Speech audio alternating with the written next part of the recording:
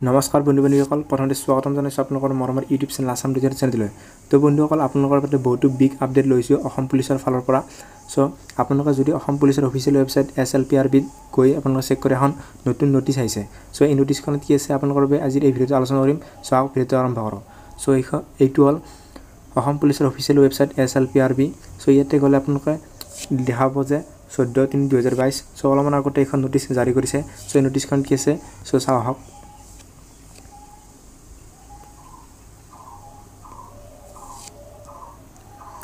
চ' এইখন হ'ল আছাম পুলিচৰ এ বি ইউ বি যি নতুনকৈ পদ ওলাইছিলে একৈছশ ছয়ত্ৰিছটা সাতশ পাঁচটা ইউ বি আৰু চৈধ্যশ ঊনত্ৰিছটা এ বিৰ কাৰণে ওলাইছিলে। চ' তাৰ ৰিটাৰ্ণ আপডেটক লৈ আহিছে। চ' যিটো এ বি ইউ বিৰ ফিজিকেল হয়তো কোনোবা ডিষ্ট্ৰিক্টত শেষ হৈছে কোনোবাৰ হোৱা নাই।